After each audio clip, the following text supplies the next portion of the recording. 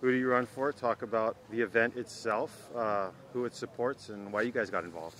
Yeah, this year, uh, the Who Do You Run For this is our sixth year uh, in a row, which has been pretty fantastic. And every year we've supported a different organization that either uh, is battling cancer or, or, doing some really good stuff for, for research. Um, and this year, the DKM um, MS group uh, is a group that focuses primarily on bloodborne cancers.